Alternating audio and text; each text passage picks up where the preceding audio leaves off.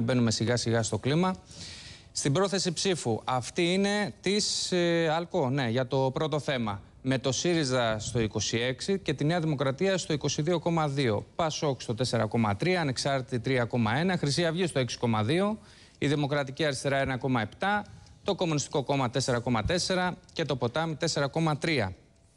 Και τώρα δούμε τις... Ε, α, συνεχίζουν και το Λαϊκός Ορθόδοξο Συναγερμός, Οικολόγοι, Λευκό και βλέπετε και ένα 14% στους αναποφάσεις Και στην MRB, για τη Real News, στην πρόθεση ψήφου Νέα Δημοκρατία 19,9, 23,6 ο ΣΥΡΙΖΑ, η ελιά, σαν ελιά εδώ πέρα είναι καταγεγραμμένο το ποσοστό της ελιάς, 4,2, 3,2 ανεξάρτητοι Έλληνες, Χρυσή Αυγή 6,7, Δημοκρατική Αριστερά στο 1, 5,1 Κομμουνιστικό Κόμμα, Ποτάμι 5,6, κάτι άλλο 9,6%.